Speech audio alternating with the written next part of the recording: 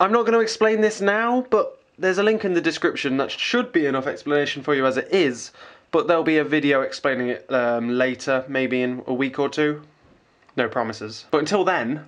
What's this week's word of the week? Just gonna uh, put that there. Hello and welcome to another interesting word of the week. This week, I have to say, has been one of the most difficult weeks I have ever had to try and find a word for. So difficult in fact that I've used multiple words just to try and flesh the video out just a little bit more. So instead of flicking through the dictionary to find an interesting word of the week, since there's only one page, and I kid you not there is literally only one page of X words, there's only two in the thesaurus, X-ray and Xmas, so I've selected some other ones that I found that aren't necessarily in here, but I found them quite interesting. The first of which is, I think, one of two words that are actually verbs that begin with X, and that is Xerox I believe it's pronounced Xerox. This, this week is going to be very difficult for me to get them right.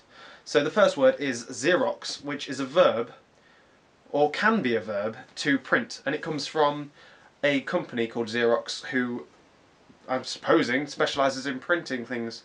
Like Google. Google's become a verb to search for. That's obviously a brand name. It's kind of like that. The next word is exantho, which is a combining form meaning yellow, like exanthophyll Exanthophyll. I'm definitely saying that wrong. There is two versions of Exantho, and the other one is Exanthi, or Exanth. I think it's Exanth.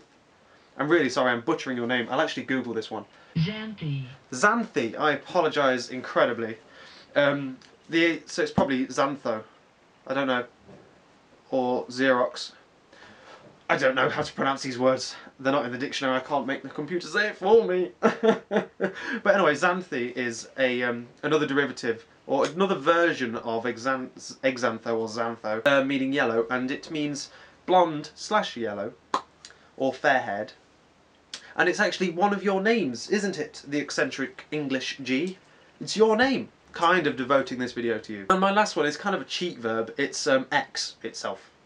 X as a verb to um, cross out, so you X something, or X'd something is to cross it out. Or to mark something incorrect, you would uh, put an X against it, you would X it. Or it's also to indicate a choice in kind of like a ballot or a general election, where you will X something that you want to happen. Which is a bit weird really, how X can have a positive and negative connotation in the same kind of sense. You put an X next to it and it could mean positive or negative. There is literally virtually nothing I can say I think this definitely is the shortest episode I've ever shot. So I think I'll leave you with a little snippet. Um, the opening scene with this camera was also shot with this camera and it will be uploaded. You can go and see it if you want. There's a link in the description to the channel that I'm putting them onto. I'm kind of doing like a video diary, the kind of like I mentioned in the last episode. I'm doing a video diary and I'm trying to document my life. I'm not very good at it yet. I've got to warm up and obviously get better. But um, that's happening now. There will be a video purely devoted to explaining it and creating the story that will interweave the two uh, channels as well as possible.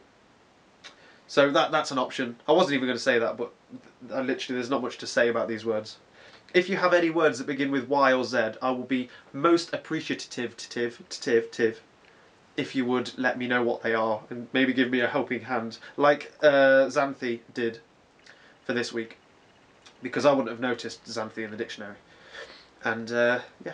So to wrap up this incredibly short interesting word of the week that didn't actually involve many interesting words, well actually more interesting words than all of the others but less information about those interesting words, uh, you can click last week's video which was wassail by clicking in the top left left hand corner of the screen and also you could click in the top right hand corner of the screen to see next week's word, which will be Y, and very difficult to pick a word for.